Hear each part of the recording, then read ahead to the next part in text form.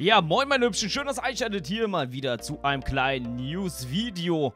Denn es hat sich ein bisschen was getan. Von meiner Seite waren letzte Tage ein bisschen ruhig. Liegt äh, einfach daran, dass ich äh, beruflich wieder viel zu tun hatte. Äh, hoffentlich bessert sich das die Tage. Auf jeden Fall gibt es bei Diablo wieder ein bisschen was Neues zu berichten. Und ähm, da wollte ich euch jetzt hier mal wieder updaten. Denn es gab eine fettige, fettige, ja, lang die Haare nicht wäschst, hast du eine fettige Ankündigung. Ähm, es gab eine fette Ankündigung von Blizzard äh, himself und zwar in Richtung BlizzCon dieses Jahr. Ne? Die BlizzCon ist ja das fette, ähm, fette Event von, von Blizzard selber ähm, in Anaheim drüben, also einmal über den Ozean. Und da ist halt alles, was äh, von Blizzard irgendwie äh, kreiert wird, alles, was da äh, kommt an fetten Patches, an Updates, an Add-ons, an neuen Spielen, das wird halt da nochmal irgendwie fett ge, äh, ja, geboostet, das wird da nochmal fett ähm, angekündigt. Und es wurde jetzt geteasert, wie es denn mit Diablo aussieht. Wird was von Diablo kommen, werden wir uns dieses Jahr freuen können. Und ähm, ja, leider muss ich sagen, nein. Es kommt in Sachen Diablo gar nichts. Das finde ich sehr, sehr schade. Ich blende mal ganz kurz was ein. Das ist das hier. Ähm, so, da haben wir es. Und zwar geht es hier um Diablo und die BlizzCon 2017, also dieses Jahr. Wie gesagt, letztes Jahr wurde der Necromancer so ein bisschen angeteasert. Ähm, man hat ihn so ein bisschen, ja, vorgestellt, mehr oder weniger. Und alle haben gedacht, jetzt kommt endlich der Druide raus. Ne? Ein Jahr ist vergangen seitdem, oder gut ein Jahr, und da wird doch jetzt wohl langsam wieder was Neues kommen, denn äh, es gibt zwar keine offiziellen Verkaufszahlen, aber der Necromancer bzw. das Necromancer Pack hat sich meiner Meinung nach sehr, sehr gut verkauft. Ne? Also irgendwie sieht man jeden damit spielen und es wird wohl den einen oder anderen auch für einige Wochen wieder zurückgeholt haben ins Diablo-Universum. Aber leider Gottes hat sich Blizzard gedacht, nein, wir hauen jetzt noch nichts raus, da wird jetzt nichts kommen, äh, speziell dieses Jahr nichts mehr.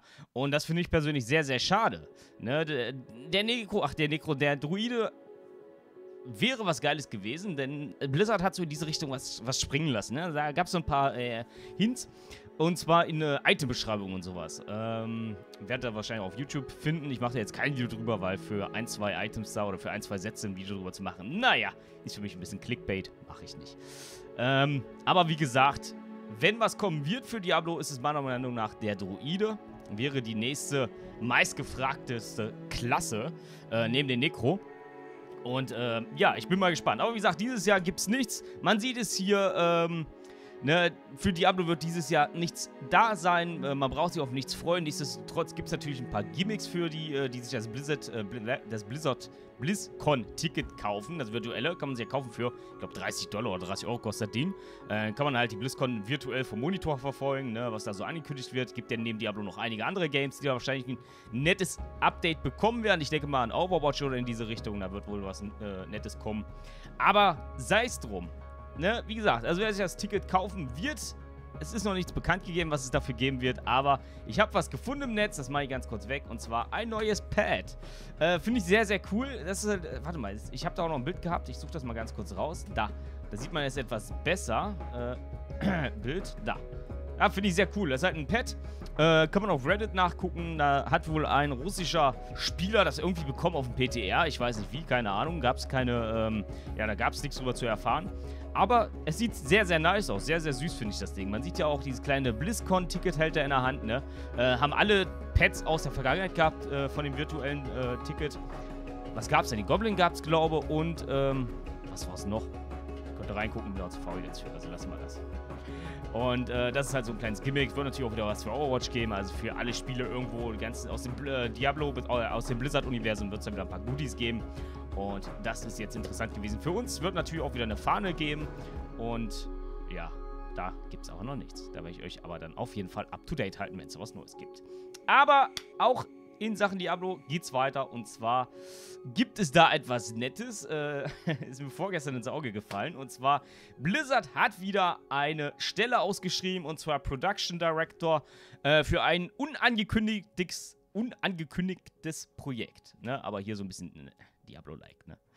Ähm, ja, also. Blizzard hat ja in, Vergangen in, der Vergangenheit 16 oder 17 äh, Stellenangebote ausgeschrieben äh, für ein unangekündigtes Projekt. Klammern Diablo, ne?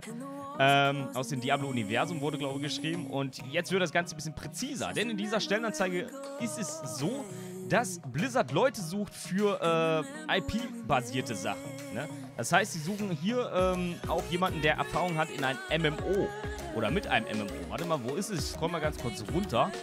Ähm, das ist mir nämlich direkt ins Auge gestochen. Wo war es denn? Hier, genau. Massive Multiplayer Game Development Experience. Also MMO-Erfahrung sollte der Gute mitbringen, äh, der sich auf die Stelle bewirbt. Ähm, ansonsten, ja, Strong Knowledge of the Software, Game Market and Plattforms, das übliche, äh, ja, Interesse oder eine, eine Passion, eine Passion für äh, die Entwicklung von Online-Videospielen. Seht ihr hier. Und was aber wichtig ist, meiner Meinung nach, ist der letzte Satz hier. Cover letting telling us why you are interested in working at Blizzard and speziell Diablo. Nicht Diablo 3, sondern Diablo.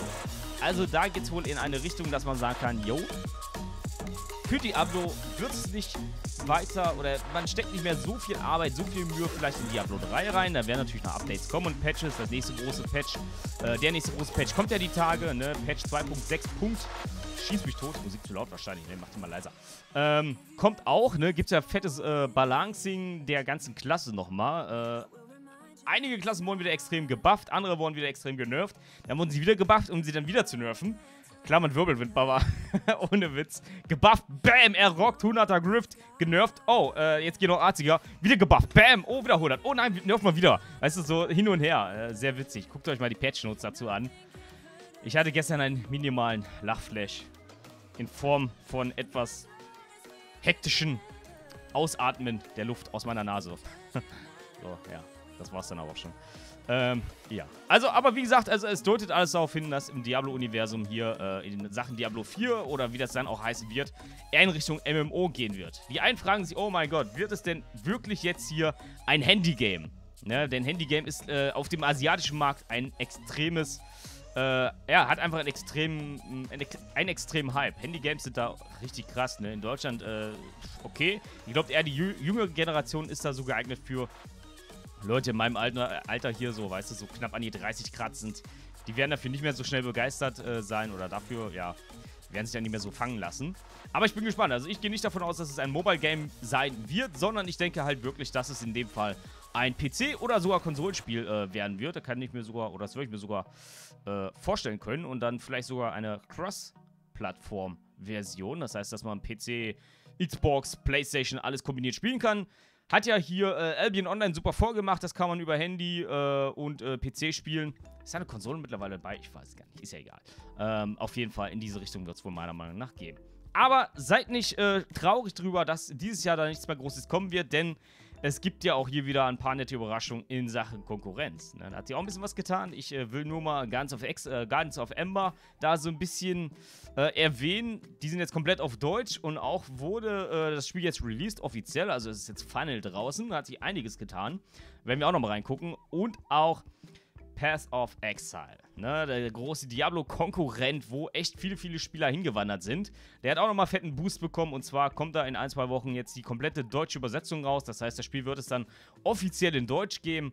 Und äh, jetzt letztens kam erst Parkte dazu. Äh, fettes Update. Ähm, also die Entwickler sind ja da ja, richtig fett an der Sache. Und da muss man einfach sagen, Blizzard, guckt euch da mal was ab, ne? Guckt mal, wie, das, wie die Jungs das da machen. Nehmt euch vielleicht so, so, so, so das kleine Büchlein raus, Notizheft, weißt du?